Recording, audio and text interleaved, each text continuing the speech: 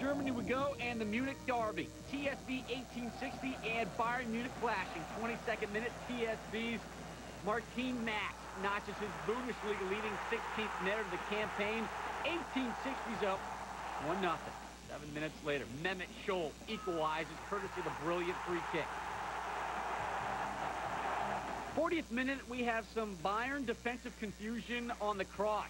Goes off the head of Jens Jeremies for the dreaded own goal, and he's kicking back. Got a couple words for keeper Oliver Kahn.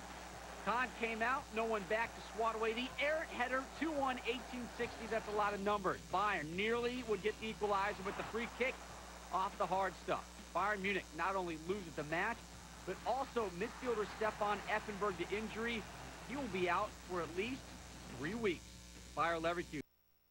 Finally, from Germany, we head into the Olympiastadion in Munich, where 1860 and Bayern squared off in the 191st battle for city bragging rights.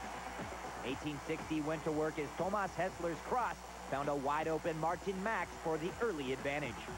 Bayern retaliated seven minutes later with a powerful free kick from Mehmet Scholl to level things at one, but later disaster struck for the defending champions. Lifted, Jeremy